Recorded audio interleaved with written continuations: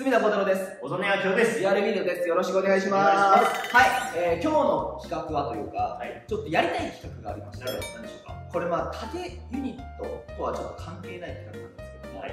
ちょっとドラマを撮りたいなと思ってる。なんかよく言うじゃないですか。まあ一個は僕ま縦ユニットらしく新選組のドラマを撮りたい。もう一個はですね、横道ドラゴンって知ってます？おみちドラ聞いたことないですかなんか、えー、か配信サイト、うん配信アプリがあって、サブスクの動画視聴サイトみたいなのがあって、アドリブドラマなんですよ。はい。がやりたいと。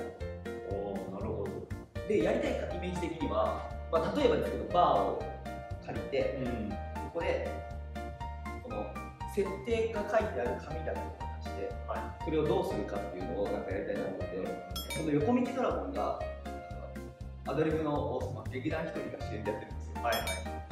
めちゃくちゃおもろくて、なんかそういうのをやりたいなと思ってるんですけど、はい。なんかいかがですか？アドリブ得意じゃないですよ。あでも設定資料がある。設定しようかな。設定資料がある。してから場所借りなきゃ。そうなんですよ。僕らが今貯めてるお金を。あ、そうだ。で中島さんとかにもなんかあのツイッターで連絡したんですけど、うん。そろそろドラマ撮りたいです。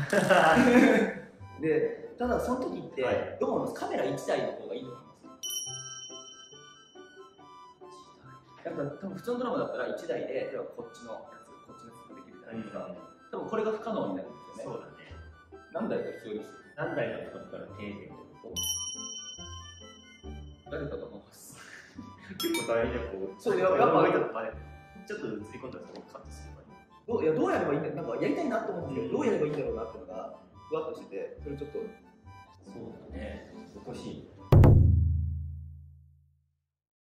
のストーリーと設定資料だけ考えてるといいなと思うんですけども、これでもすごい欠点を気づいたんですよ。何でしょう俺が出れないんですよ。そう自分で考えたら。気づきました自分で考えたら分かっちゃう。そうなんですよね。ここがやっぱすごい欠点で1個手としては俺らはもう全く出ない、うん。ああ、それはありかもね。